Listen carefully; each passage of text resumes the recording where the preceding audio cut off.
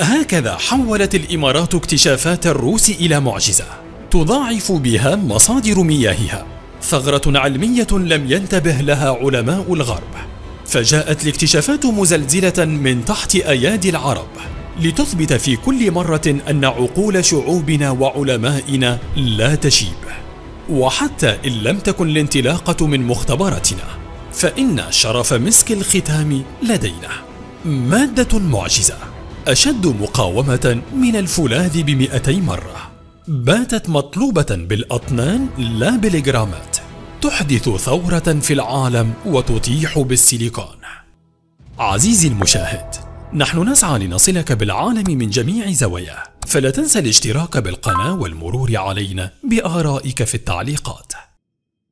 ما زالت الفيزياء تبهرنا بأسرارها.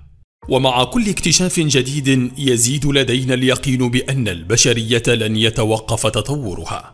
ما دامت هناك عقول تفكر ومختبرات تنتج لا تستغرب الأسماء والمصطلحات العلمية.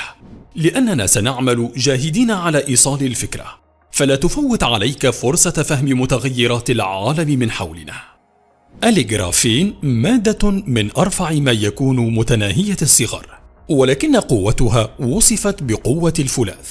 أبهرت العلماء بما فيها من خصائص ومميزات واستطاعوا أن يجدوا لها مكانا في أكثر من مكان يهمنا. جذبت إليها أنظار العالم بفضل عالمين روسيين. نشر بحثا في 2004 حولها كان كفيلا بأن يقلب مختبرات الفيزياء ومنح البحث جائزة نوبل في الفيزياء عام 2010 ومن هناك بدأت سلسلة من الاكتشافات والاستعمالات حتى أن أحد مكتشفيها قال عنها إن الجرافين بمثابة الرحمة للفيزيائي لأنه من الناحية النظرية يمكنه من خلال ذرة واحدة الحصول على مادة ثنائية الأبعاد وفائقة التوصيل مما يجعلها تتحرك بسرعة الضوء.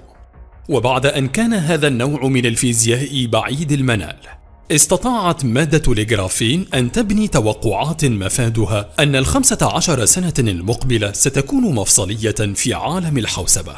باختصار إن الجرافين بات هو المادة المعجزة للقرن الواحد والعشرين. وسرق الأضواء من السيليكون الذي تربع على عرش الفيزياء لأكثر من أربعة عقود لما لعبته من أدوار في مجال الصناعات الإلكترونية.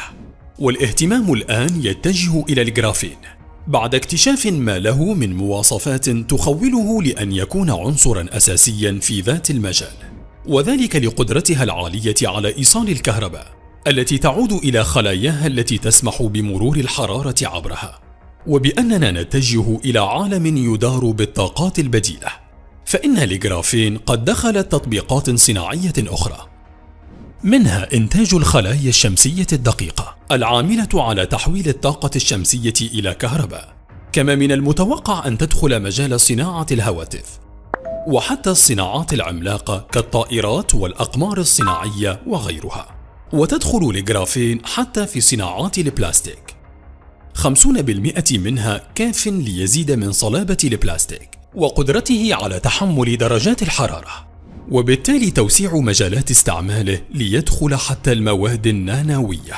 لا يفوتك أن في يومنا هذا بات العالم يهتم أكثر بالمعالجات الإلكترونية فائقة السرعة حتى يتمكن من احتواء التراكم الهائل للمعلومات. ولبلوغ ذلك لا بد من ضمان الكفاءة والتبريد المتواصل. لذلك فإن اكتشاف مواد تضمن ذلك ومنها الجرافين يمثل إنجازا عظيما.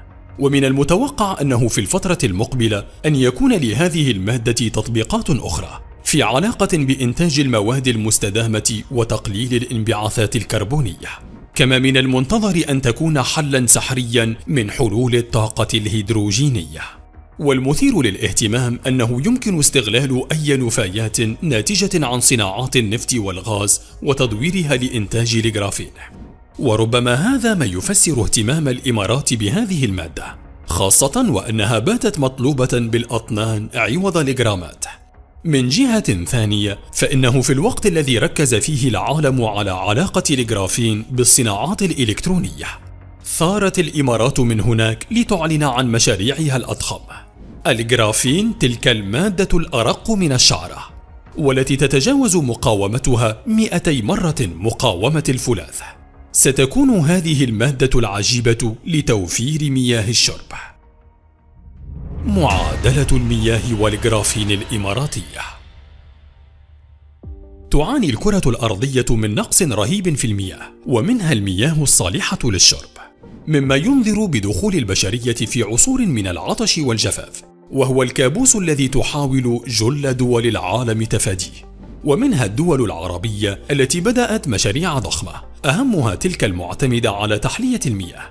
وتعتبر الإمارات من بين الدول الرائدة في هذا المجال نظرا وأن منطقة الشرق الأوسط هي الأكثر جفافا وتشهد نقصا كبيرا في نسب المياه لديها. وبعد الاكتشافات الغربية لمزايا الجرافين جاء دور العرب ليضعوا لمستهم الخاصة ومؤخرا توصلت جامعة إماراتية. إلى استخدام جديد وثوري للمادة العجيبة الجرافين الكربونية. هذا الاكتشاف يتعلق أساسا بإمكانية إنتاج مياه صالحة للشراب من هذه المادة عن طريق معادلات خاصة. ولأن مياه الإمارات في مجملها متأتية من عمليات التحلية كما أشرنا فإن هذا القطاع لا يقل أهمية عن القطاعات الأخرى الحيوية. إذ تعمل وفق مناهج واستراتيجيات معقدة على تنقية مياه البحر بإزالة الملح ثم تحويلها للاستعمال. وتقريبا هناك أكثر من 300 مليون شخص في هذا العالم يعتمد منذ السنوات الأخيرة على هذه التقنيات. ولكن ولأننا نواجه غضب الطبيعة علينا بما فيها التلوث والتغيرات المناخية التي أجهدت مصادر المياه العذبة على كوكبنا. ومن جهة أخرى قفزت بتكاليف التحلية ومستحقاتها من الطاقة إلى مستويات خيالية. جعلتها تكون عمليات منهكة للحكومات بالرغم من أهميتها. وهنا يأتي دور الجرافين في مجابهة هذه التحديات حيث يتلخص دوره في إطالة عمر الغشوات العازلة للقاذورات والتي تتصدى لمشاكل تراكم البكتيريا على المرشحات. وهذه المشكلة كانت تكلفهم الوقت وملايين الدولارات لتجاوزها. فالجرافين سيكون فعالا في تعزيز الأداء تقليص الطاقة المستهلكة وخفض التكلفة.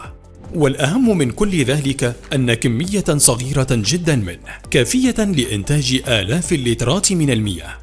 ودخلت أغشية الجرافين هذه مرحلة التطوير. مع انتظار بداية عمليات إنتاجها في 2024 بالمملكة المتحدة.